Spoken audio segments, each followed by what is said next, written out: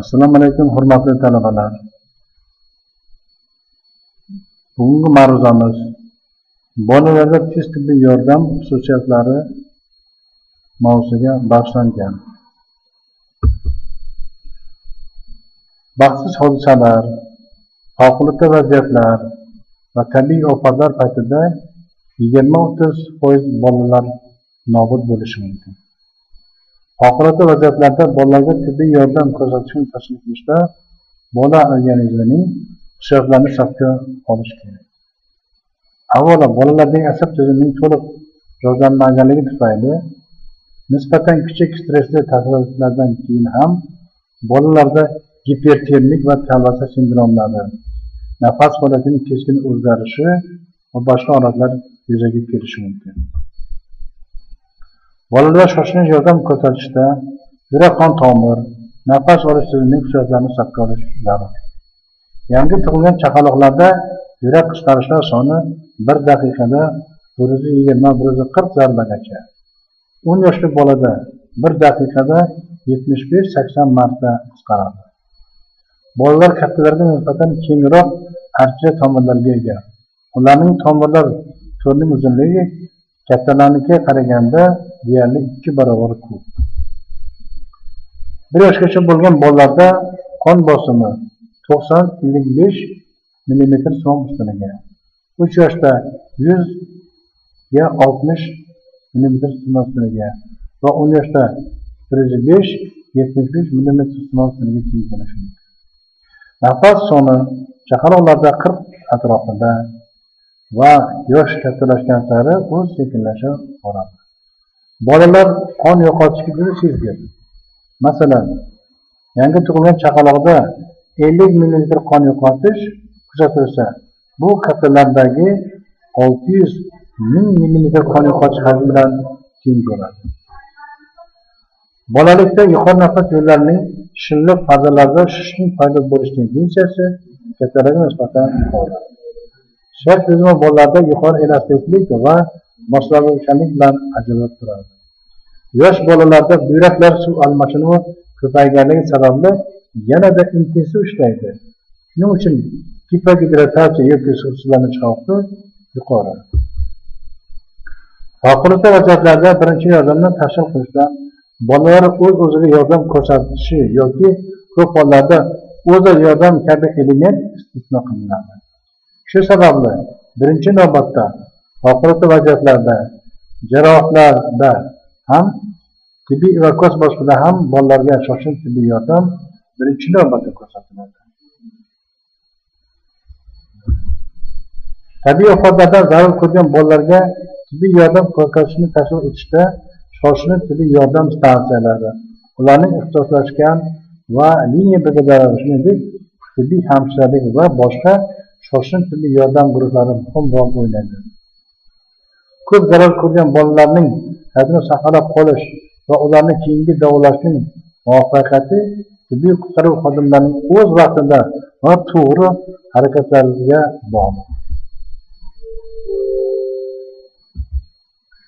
Bolalarda tez yordam shifokori quyidagilarni tekshirishi zarur hayotiy funksiyalarning buzilish darajasi va sog'lig'iga qarab shoshilinch tibbiy choralov zarurligini dastlab baholash markaziy asab tizimini holatini markaziy gemodinamika nafas olish faoliyatini o'zgarishlarini o'rganishi zarur.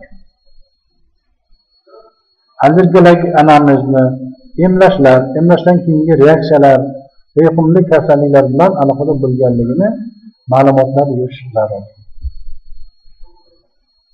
Shoshish tibbiy yordam ko'rsatishda xatolar bemorning ahvoli og'irlashishiga yoki o'limiga olib keladigan olib kelishi mumkin bo'lgan noto'g'ri harakatlar harakatlar yoki tibbiy xodimlarning harakatsizligini o'z ichiga oladi demak bunga jiddiy yondashish kerak. Quyidagi omillar noto'g'ri tashxisga olib kelishi mumkin. Birlamchi ko'rikning kamchiligi imkoniyatlarning yetishmasligi vaqt tanqisligi yomon texnologiya shoshilinch davolashdagi xatolar quyidagilarda namoyon bo'ladi. Ko'rsatilgan dorilar va terapevtik muolajalar noto'g'ri qo'llanilgan bo'lsa kerakli dori darmonlar nosoz asboblar yoki asboblarning yo'qligi sezilarli ahamiyatga egadir shoshilinch yordamida taktik xatolar. Bu davolashning uzluksizligini aniqlashda ya'ni bemorni o'z vaqtida yoki ixtisoslashmagan shifoxonada yotganda kelib chiqadi.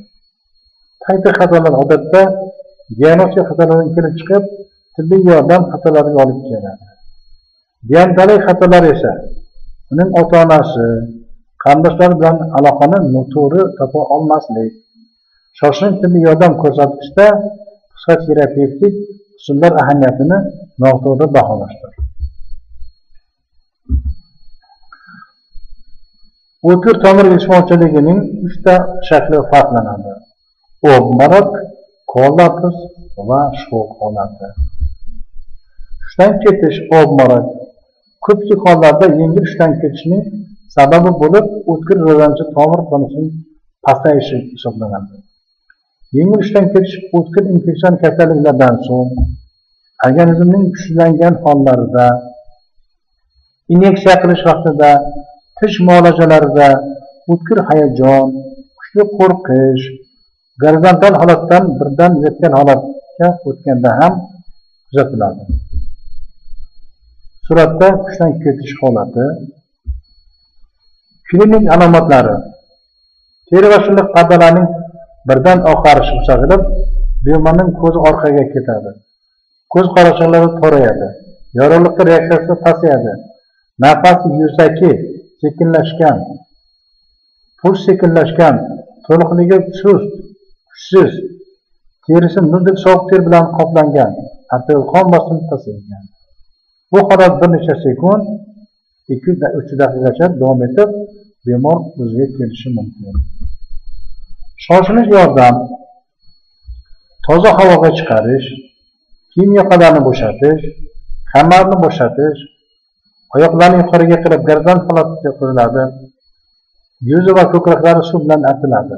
Baland ovoz bilan ismini aytib chaqiriladi va navshada izlatiladi agar bular yordam bermasa ter ostiga qo'zg'aluvchi vositalardan kofein kardian qilish mumkin.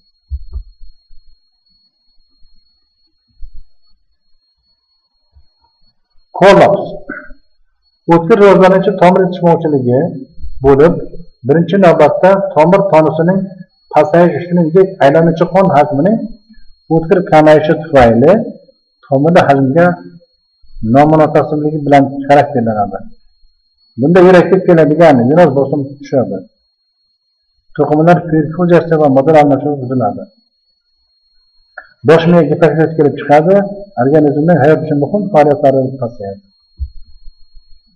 Ideologiyasi va klassifikatsiyasi o'tkir infeksion kasalliklardan og'ir kechishida o'tkir yurak usti bezi yetishmovchiligida gipotizm vositalarini ko'p iste'mol qilganda qon yo'qotganda jarohatlarda kollapslar bo'lishi mumkin. Simpatatonik vagatonik va paralitik shoshilish yordam bemorni gazdan holatga yotqizish issiq grelkalar quyish sof toza havo kelishini ta'minlash sifatonik kollapsda periferik qon tomirlar spazmini bartaraf qilish uchun spazmolitiklardan dipazol papaverin noshqa qilish mumkin. Vagatonik va paralitik kollapsda esa infuzion kerak o'tkaziladi ya'ni statizol rifartan yoki kristalloidlardan natriy xlor ringer eritmalari o'rtacha yigirma millilitr har kilogramm og'iz hisobidan yuborish mumkin shuning bilan birgalikda e, gormonal terapiya prednizolon va gidrokapson qo'llaniladi. Shok bu organizmni o'ta kuchli tasodifga bo'lgan javob reaksiyasi bo'lib arterial gipertenziya achidoz va hayotiy muhim a'zolar faoliyatini buzilishi natijasida to'qma giperfuziyasi kuzatilishi bilan kechadi shokning zamonaviy klassifikatsiyasi kardiogin shok septik shok gipogalinik shok kuyish shoki gemorragik shok travmatik shok anafilaktik shok diabetik shok neyrogen shok elektrotravmadan keyingi shok toksik shok kabilar shokning simptomlari. Qo'zg'aluvchan qo'rquvsi, hissi lab va tirnoqlar ko'karishi ko'krak sohasida og'riq sovuq ter bosishi diurezning kamayishi bosh aylanishi holsizlik hushning buzilishi ko'ngil aynishroq tusish oyoqlarning sezmasligi puls tezlashuvi yuzaki nafas kuchli chanqash kabilar. Shokni davolashning umumiy tamoyillariga vrachgacha vrachga yordami va yuqori malakali ixtisoslashgan yordamlarga ajratiladi. Vrachgacha bo'lgan yordam bemorni teginmasdan ko'rish so'z bilan travma mexanizmini so'rash shikast yetkazmasdan kiyimlarni yechish nafas yo'llari o'tkazgichni tekshirish nafas va qon aylash adekvatligini tekshirish kerak bo'lganda sun'iy nafas berish. Agar bemor hushyor bo'lsa sinishlar bo'lmasa oyoqni yuqori ko'tarish mumkin. Vrachlik yordami. Bemorga vrachlik yordami tez yordam mashinasidan boshlanadi. Qabul bo'limigacha va vena ichiga kateter qo'yib vena ichiga kolloid va kristallasiyasiyalardan birga bir nisbatda va gormonal preparatlar vena ichiga yuboriladi. Hamda monitor kuzatuvi lozim.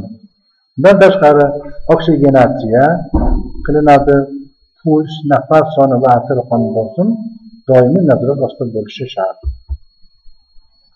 Shokning barcha turidan shoshilinch davo tamoyillari. Pnevmatik shokka qarshi kostyum tirinchilik holatini berish virus qon va virus haydash faoliyatini yaxshilash uchun vazopressor vositalar qo'llash antigistaminlar qo'llash dezintoksikasion terapiya antibiotiklar glukokortikoidlar va simptomatik terapiya lozim. E'tiborlaringiz uchun katta rahmat.